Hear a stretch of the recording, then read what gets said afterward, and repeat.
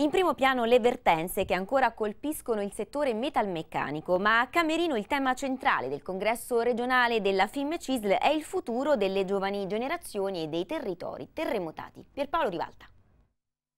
La realtà di Tecnowind nel Fabrianese, la realtà di Gergo Group eh, nel Maceratese, il gruppo Ragaini nell'Osimano, che hanno una situazione di crisi e di difficoltà non indifferente. Mille posti di lavoro a rischio, tre vertenze nelle Marche che anche in queste ore testimoniano le difficoltà dei metalmeccanici.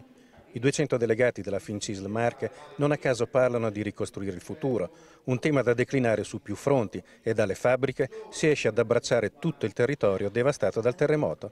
Per far partire da qui una voce di riscatto, una voce che grida l'importanza di fare quanto prima quella ricostruzione che eviti anche che popolazioni e comunità del luogo lasciano scoperte queste zone bellissime. È proprio per questo che bisogna intervenire quanto prima.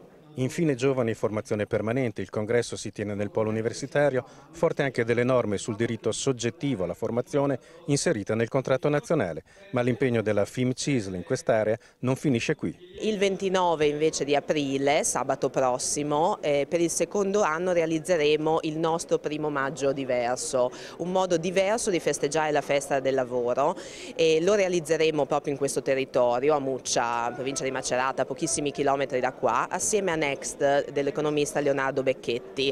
E è una festa del lavoro in cui riportiamo il tema appunto del lavoro delle imprese, soprattutto in un territorio ferito dal sisma, al centro dell'attività del sindacato.